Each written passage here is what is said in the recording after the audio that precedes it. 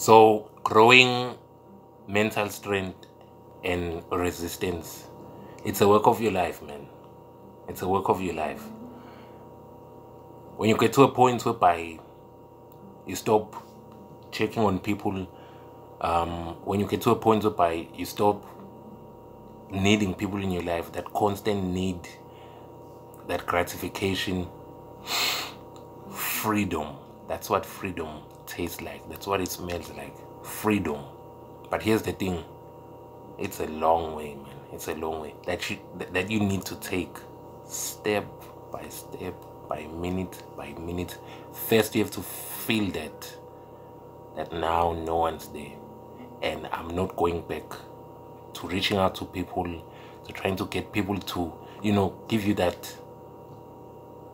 You're gonna have to do it step by step, break by break, going in the inside, feeling their loneliness, their loneliness, feeling it.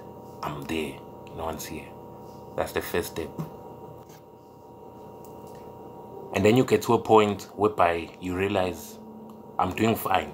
But sometimes it, it will go back into saying, let me just call my friend and see. And then you then you're fine and then you feel like, nah, man. You see, that constant unsettling feeling of, I deserve better. It means you really do deserve better. You know, the human body and the mind and the soul was created in a way to tell us things. Don't go there. This person is wasting my time. This is not right. I shouldn't take this deal. Why am I doing this? So long as you do something and you feel some guilt, it's not the right one. The dopamine effect may make it feel good for a season, but it's hell afterwards. So long as you do something and you're not free, so long as it feels like, why is this person expecting me to go the extra mile? How come he's not even doing a quarter mile? You get what I'm saying? Get to a point whereby you do something freely and you know exactly that I can't take this. I can't allow this in. It's not what me I'm supposed to be doing. Don't take something because you feel like, ah, man, what am I going to do? No. Get to a point where you're just free. You're free to say, not now, later. Not now, later. There mustn't be any pressure that's pulling you towards taking a decision. So long as you're with anyone this world and you feel like, why, man? Why am I going extra? Why am I not getting back what I'm putting in? It's still not freedom. So long as you're doing something because you have a reason to that's rushing you, still not freedom.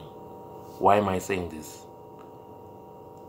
Human beings in this world, no matter who you are, you need to know exactly what respect is. You need to know what freedom is. Don't just get into something because you're like, ah, oh, man, finally I won't be alone. No. You would rather feel that deep effect of like, no one's there, but you're fine. You have your morals, you have your, you have your respect, you're just fine, you're perfectly fine. Rather than feeling that, what am I doing here? This person's always promising to visit. They never show up. They always expect me to visit. They never show up. Now here's the thing. Get to that point whereby you're saying, I'm just going to feel the alone pain. Whether it's six months, seven nine months, you're going to feel it. And some days it will feel like going back to other people. And it's natural, it's there. In the brain, it's there. Then you feel like, ah, and then it's too hard, I can't. Think about this. Your freedom your morals, your self-esteem, than just throwing yourself into someone knowing it's not because you do not want to, but because it feels like, I don't want to feel that. After taking that walk, now you're free. Now the instinct is pulling you and saying, do you want to accept anything? Do you want to accept any dates? Do you want to accept offers? Now you're taking decisions. Now it's, it's freedom. Now you know exactly that being by myself is fun. I get more out of what I put in. I'd rather take my my gift, do something for my family or my mom or my cousin.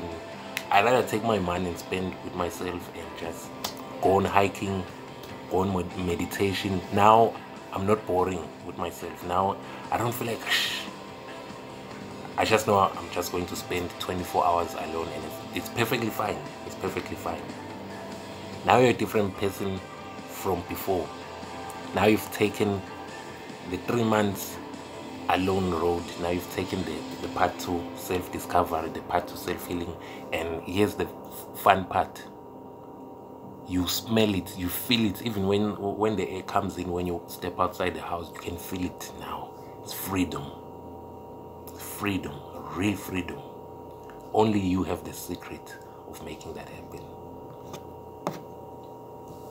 Only you have the secret. There's nothing else I can say. The secret within, inside the mind, it's there. Inside your mind now. Now you're a warrior. You're like, oh yeah, man, I did it. Oh yeah, man. Now, now you trust yourself to do anything. Anything. Now you're self-reliant. Now you've evolved. Now you can take on anything when you fall into a hard time, you know exactly, I'm just going to feel it. I'm just going to feel it. I'm not reaching out to anyone. Now you're a warrior, a champion. Now you're a gladiator. Now you're looking at the world and say, bring it on. Now everything's fun because you went through all of those months and months. You went through all of those pains. You went through all of those stresses. Now you know exactly that's what's coming. Bring it on nothing's holding you back. Now it's up to you to say, do I want to challenge myself for more? Do I want to challenge myself for fasting? Do I want to challenge myself to taking more time away from my phone? Now I can take time away from social media. Now I'm just free. My self control is at the highest point. Congratulations if you've reached there. If you're still on your journey you can start as much as much you can restart as much it really doesn't matter the only thing that matters is the first step